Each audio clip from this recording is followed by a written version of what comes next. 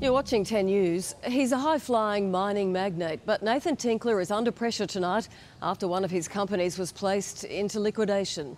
As Eddy Meyer reports, the company was wound up, owing more than $28 million. He's been the master of the big deal, turning speculation into a billion dollar empire until yesterday, when one of his companies, Mulsanne Resources, was placed in liquidation.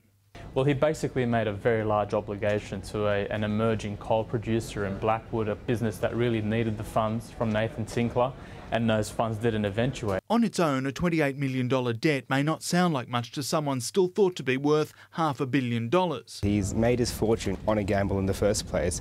He's been betting on horses, he's been betting on uh, coal, he's been betting on mining, and it just seems that now he's taken one too many gamble for his liking. Phil Jacob has watched Nathan Tinkler's business closely and says he's been notorious for stringing out debt payments as long as possible.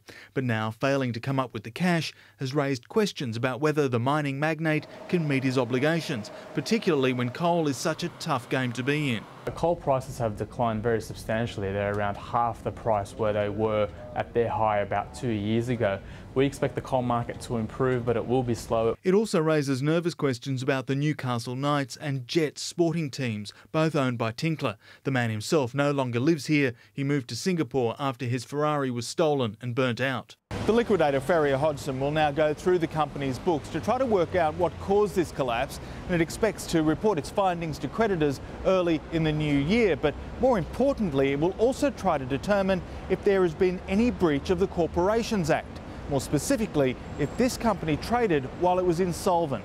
If proven, that could lead to huge fines, disqualifications, even jail. A company spokesman says there will be no impact on other Tinkler businesses. Eddy Meyer, 10 News.